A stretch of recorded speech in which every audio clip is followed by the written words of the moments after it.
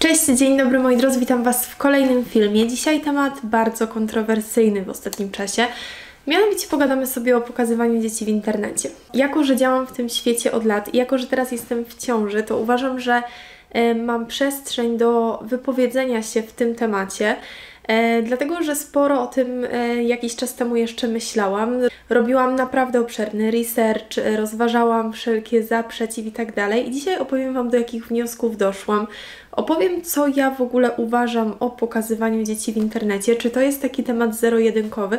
Na pewno, jak wspomniałam na początku tego filmu, kontrowersyjny. Więc jeżeli jesteście ciekawi, co ja mam na ten temat do powiedzenia, to koniecznie zostańcie do końca tego odcinka. E, możecie oczywiście zasubskrybować kanał i zapraszam do obejrzenia. Mam wrażenie, że na przestrzeni ostatnich tak dwóch lat, może nawet roku, e, temat pokazywania dzieci w internecie stał się bardzo, bardzo powszechny. Wcześniej e, nie ukrywam, że tych influencerów pokazujących swoje dzieci, swoje prywatne życie było tak naprawdę dość niewielu. No nie oszukujmy się, były to takie e, konkretne przypadki twórców na YouTubie, czy na TikToku, czy na Instagramie, bo tutaj nie mówię tylko oczywiście o sferze YouTubeowej, natomiast w znacznej mierze się na tym chcę koncentrować, bo ja tutaj głównie działam, tutaj i na TikToku. I tak właśnie wracając, byli tacy twórcy, którzy pokazywali swoje życie, bez wątpienia e, takim kanałem, który czerpał wręcz z pokazywania wizerunku dzieci. E, był taki kanał The Happy Family, teraz chyba wcześniej Psycho Family. Ja go nigdy nie obserwowałam, e, widziałam tylko jakieś urywki gdzieś tam na TikToku i Uważam, że tego nawet nie ma sensu komentować, co się dzieje na tym kanale i w jaki sposób oni pokazują swoje życie rodzinne i właśnie swoje dzieci.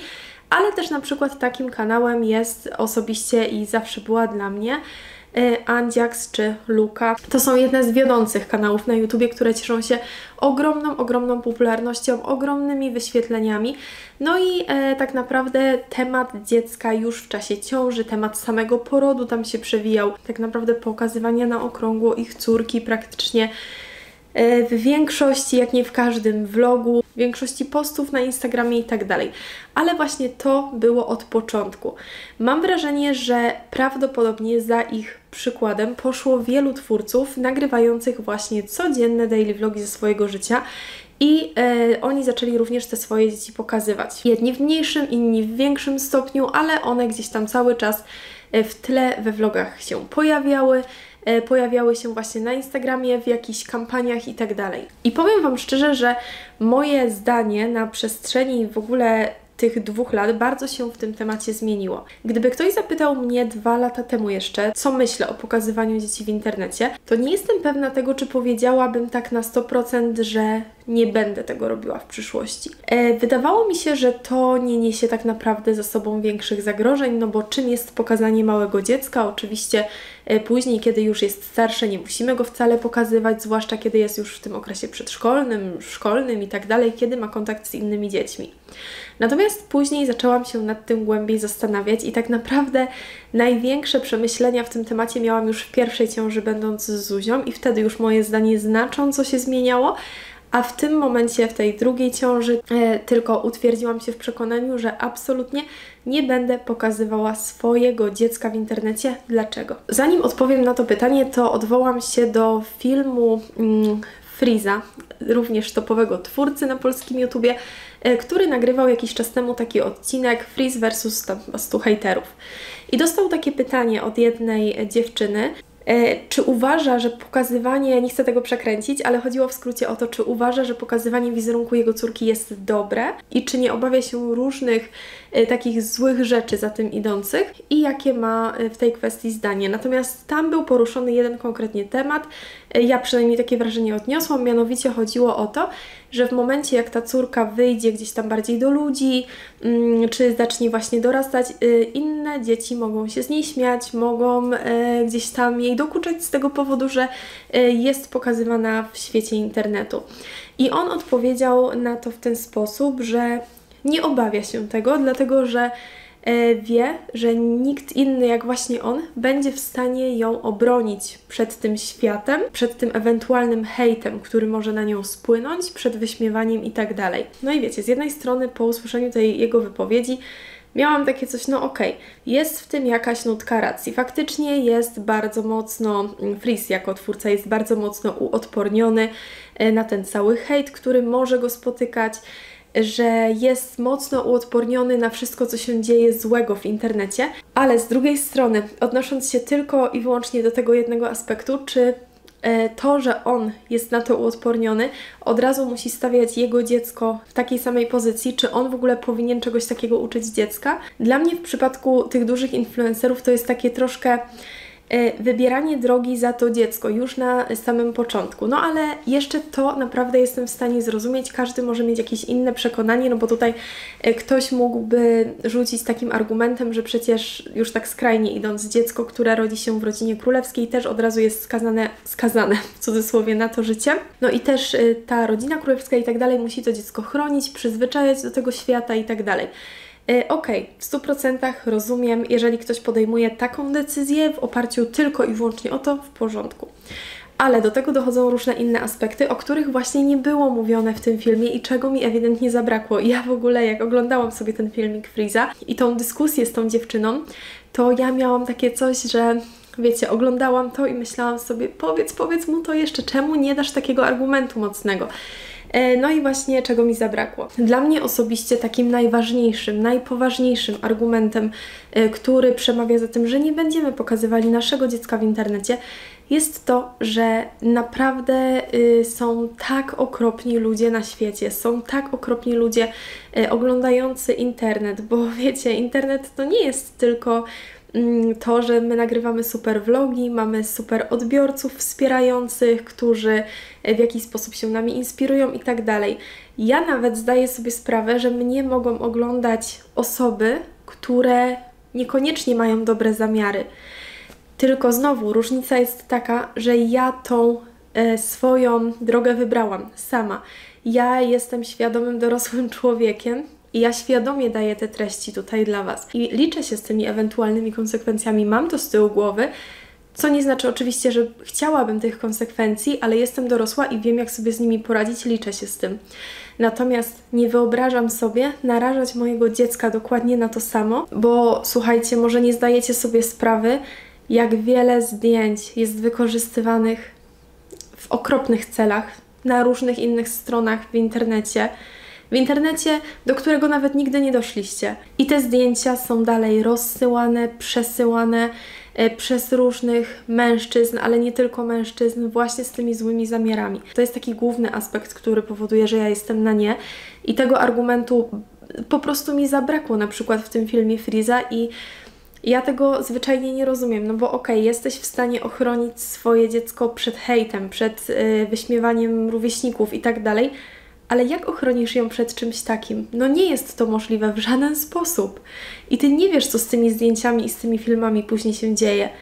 Ale zakładając, ile ludzi cię ogląda, jaka to jest ogromna skala, no to chyba każdy mądry człowiek założy, że jakiś nawet ułamek tego procenta to będą właśnie te złe osoby. Druga sprawa jest taka, i to jest też, yy, słuchajcie, bardzo powiązane to jest sam fakt tego, jak technologia poszła do przodu i jak w tym momencie, co tak naprawdę możemy zrobić za pomocą sztucznej inteligencji, w jaki sposób możemy wygenerować filmy, które nigdy nie miały miejsca, nigdy nie powstały, przerobić wypowiedzi czyjeś, przerobić czyjś wizerunek. No, mnie to po prostu szokuje i ja zawsze mówię do mojego męża, że moja głowa jest na to za mała, ja w ogóle nie ogarniam sztucznej inteligencji. W sensie, wiecie, nie ogarniam w ten sposób, że, że mnie to przerasta, naprawdę. Ja nie sądziłam, że za naszych czasów takie rzeczy będą możliwe.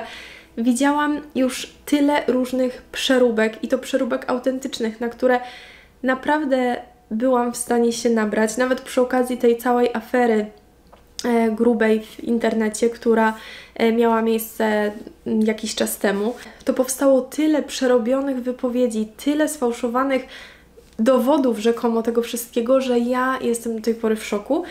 I właśnie zdaję sobie sprawę, że to samo może się dziać z tymi filmami czy ze zdjęciami dzieci udostępnianymi do internetu. One, słuchajcie, mogą być tak przerobione, tak podkręcone, znowu w wiadomych celach. Ja tutaj nie chcę celowo mm, określać tego, bo nie chcę, żeby YouTube narzucił mi na ten film ograniczenia, ale myślę, że wszyscy wiecie o co chodzi. Ja sobie po prostu tego nie wyobrażam, żebym na przykład zdecydowała się na pokazanie dziecka i za nawet nie wiem, 5, nawet 10 lat, znalazła albo co gorsza jego y, rówieśnicy, jego znajomi znaleźli zdjęcia albo filmiki przerobione z nim bardzo krzywdzący sposób. Dla mnie to jest za dużo.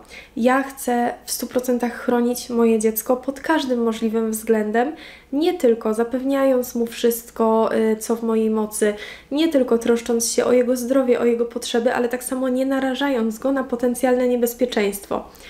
I oczywistym jest to, że każda matka, przynajmniej Umówmy się, statystycznie każda matka y, chce dla swojego dziecka jak najlepiej, ja również. I tak samo dla tych dzieci chcą jak najlepiej nawet te matki, które decydują się na pokazywanie ich wizerunku w internecie. Tutaj nie ma o czym mówić, ja tego absolutnie nie podważam. Tylko zastanawiam się, co kieruje tymi osobami, bo albo jest to moim zdaniem niewiedza i uważam, że w tym nie ma nic złego, bo ludzie mają prawo gdzieś tam zmienić zdanie, czasem warto się doedukować w danym temacie, poczytać więcej. Jeżeli ktoś pokazuje te dzieci właśnie z czystej niewiedzy, to w porządku, może jeszcze przyjdzie na te osoby jakaś chwila refleksji, może się zastanowią. Natomiast jeżeli ktoś e, dysponuje wizerunkiem dziecka w filmach, czy na TikToku, czy na Instagramie tylko dlatego, że te e, treści mają większe zasięgi, no bo umówmy się, treści z dziećmi mają olbrzymie zasięgi, nieporównywalnie większe z tymi bez dzieci, no to jest to dla mnie karygodne i ja w ogóle czegoś takiego nie rozumiem. E, niestety jest ogrom takich twórców na polskim YouTubie. E, słyszałam też o takich przypadkach, że ktoś, e, jacyś influencerzy nawet, to okropnie brzmi, ale celowo planowali ciążę, zachodzili w ciążę, żeby po prostu polepszyć sobie zasięgi na e, YouTubie. Straszne, naprawdę straszne dla mnie. Nie wiem, kto tak robi i tego nie da się nie ocenić. To tylko można potępić. Nie będę e, tutaj mówiła, kto jest takim twórcą, bo ja też nie mam takiej pewności. Tak naprawdę nikt w 100% nie może wiedzieć oprócz tych osób. E, no ale wiem, że takie sytuacje się zdarzają. E, takim argumentem, który zawsze mnie rozkłada na łopatki dosłownie, E, bardzo często influencerzy pokazujący dzieci, kiedy dostają pytanie, dlaczego udostępniają ich wizerunek, na przykład na filmach na YouTubie, odpowiadają w jeden ten sam sposób. No bo dla nas to jest taka forma pamiętnika, bo to będzie fajne do tego wrócić za jakiś czas, bo pokazujemy swoje życie i to jest takie fajne, żeby uwieczniać te momenty. No to powiem Wam tak. E, my mieliśmy w dzieciństwie mnóstwo kaset, mnóstwo jakichś nagrań, do prywatnej kolekcji domowej. I również mogliśmy w każdej chwili do tego wrócić, mogliśmy sobie obejrzeć te kasety z rodzicami, mogliśmy obejrzeć albumy z rodzicami i powspominać nasze dzieciństwo. I nie potrzebowaliśmy do tego internetu, więc czym to się różni? To, że ktoś pokazuje swoje życie w internecie, bo taką pracę wybrał, czyli ja na przykład, jestem taką, tak, przykładem takiej osoby, okej, okay, pokazuję siebie, pokazuję swój wizerunek, pokazuję mojego męża, który też jest dorosły i się na to zgadza. Ja jestem pewna, że ja będę mnóstwo filmików nagrywała mojego dziecka i robiłabym mnóstwo zdjęć, ale y, do mojej prywatnej kolekcji domowej. Dlaczego to ma lądować na YouTubie? Także przepraszam, ale argument tego, że YouTube służy jako prywatny pamiętnik jest bzdurny, bo nawet jeżeli zależy Ci na tym, żeby wrzucać to na YouTuba, to ustaw sobie film na prywatny i też go będziesz miała na YouTubie w swojej kolekcji.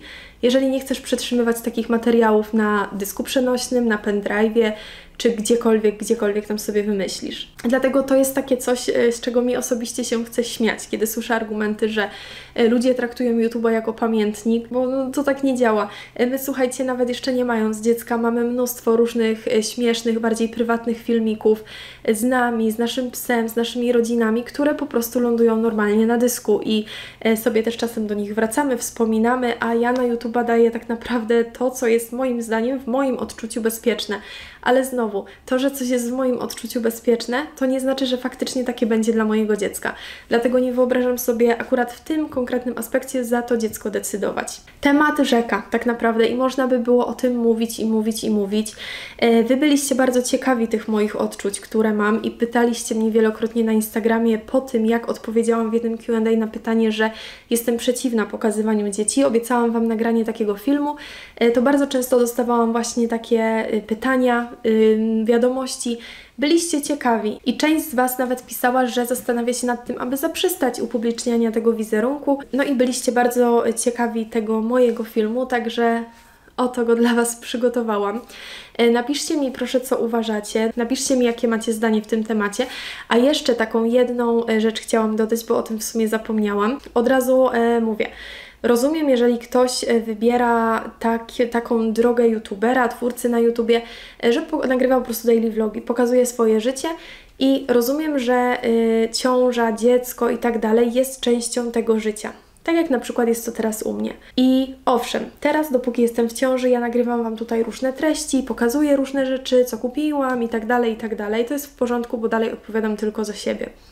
Natomiast w momencie, kiedy urodzi się to dziecko, oczywistym jest to, że ja nie będę ukrywała tego przed całym światem, bo skoro ja nagrywam daily, vloga, daily vlogi, to jest, czytam weekly vlogi, to jest taka część e, mojego życia, dziecko w ogóle, to, to wszystko, co się dzieje, to, jest całe, to będzie cały mój świat, więc te tematy będą się pojawiały, ale samo upublicznianie buzi dziecka dla mnie po prostu nie wchodzi w grę. Naprawdę jest tyle pomysłów na to, jak można zrobić ładne zdjęcie na Instagrama, czy właśnie jakiś kadr do filmu nagrać, jeżeli już chcemy. Ja pewnie będę chciała. Można pokazać troszeczkę rączki, troszeczkę stópki, nie wiem, żeby dać znać, że to dziecko jest, że to dziecko jest z Wami obecne, ale nie musimy od razu nakierowywać aparatu na jego buzie. Jeżeli jesteś mniejszym twórcą, jeżeli z jakiegoś powodu czerpiesz inspiracje z filmów e, twórców takich jak Luka, Andiax, bo wiem, że oni są teraz bardzo na topie, to zastanów się, czy to jest odpowiednia droga, czy faktycznie chcesz w ten sposób e, postępować, tak robić i taką twórczość na YouTubie prowadzić. Ja naprawdę wiem, że dzieci dają ogromne zasięgi treści z dziećmi. E, jest mnóstwo, w ogóle ciekawostka jest taka, że słuchajcie, kampanie dotyczące produktów dziecięcych w tym momencie są najbardziej opłacanymi kampaniami. E, już pomału wkraczam w ten świat właśnie, w sensie wiem jakie to są po prostu kwoty, mm, nawet u mniejszych twórców i jestem zszokowana. Ja nigdy w ogóle nie wyobrażam sobie przyjąć kampanię, w której musiałabym pokazać twarz dziecka. Absolutnie nie. I naprawdę nie umiem pojąć też tego, jak ktoś argumentując to, że przecież nie robię nic złego, pokazując swoje dziecko, yy, używa takiego argumentu, że yy, no ale przecież ja nie pokazuję jakichś obrzydliwych rzeczy, jak nie wiem, jest na nocniku, jak zrobi kupę, jak ma brudną pieluszkę i tak dalej, nie upokarzam tego dziecka, nie ma problemu. No, no nie, no dalej jest problem, bo najważniejsze jest to, o czym powiedziałam wcześniej. Te kadry, zdjęcia i tak dalej mogą później krążyć na internecie i wy tego nie zatrzymacie. Po prostu. Uważam, że na pierwszym miejscu powinno być bezpieczeństwo naszych dzieci. Może taki film, który teraz nagrałam, skłoni innych do refleksji. E, będę wtedy, nie ukrywam, bardzo szczęśliwa, bo jestem w tym temacie akurat bardzo mocno uczulona. I nawet jak wejdzie się na stronę główną na YouTube'a ja już po prostu widzę, ile osób wpycha nawet na miniaturki twarz dziecka tylko po to, żeby się klikało. Jest to dla mnie straszne. Moi drodzy, dziękuję Wam bardzo za oglądanie. Dzięki, że tutaj jesteście. Koniecznie podzielcie się swoimi opiniami w komentarzach. Wiem, że nie wszyscy będą podzielać moje zdanie. Ja jestem też otwarta na dyskusję. Natomiast yy, ja też mam prawo do swojego zdania, więc to uszanujcie. Uważam, że każdy powinien robić tak, yy, aby postępować w zgodzie ze sobą, ale też w zgodzie z dziećmi i ich bezpieczeństwem. Dzięki, zostawcie łapkę w górę, jeżeli macie ochotę, zasubskrybujcie kanał i widzimy się w kolejnym filmie. Buziaki, pa pa!